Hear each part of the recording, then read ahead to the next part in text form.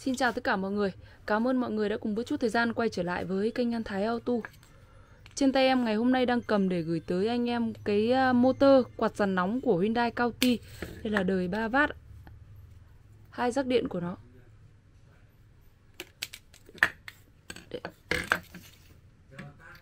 Cảm ơn mọi người đã cùng bớt chút thời gian à, xem video của em anh em có nhu cầu cần tìm hiểu tư vấn hỗ trợ về sản phẩm thì liên hệ với em theo số 0769086333. Với cái motor quạt này thì chúng ta có thể dùng chế được cho rất là nhiều loại này. Uh, Hyundai uh, rồi uh, máy xúc này. Bởi vì à, đặc điểm của nó là ba tay mà cái thông số nó rất là thông dụng và cái trục của nó là trục một vát cũng rất là dễ đưa vào. Đây sản phẩm của công ty Busan Hàn Quốc. Cảm ơn anh em đã bớt chút thời gian xem video của em. Hẹn gặp lại mọi người trong những video tiếp theo. Em xin chào.